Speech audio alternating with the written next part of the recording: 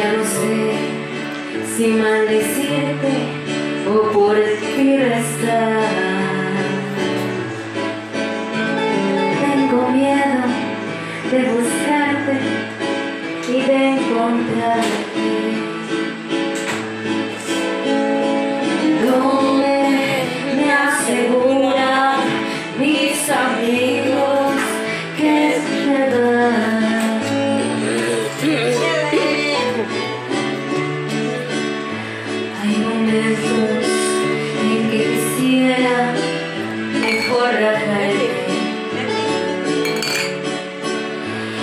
Thank.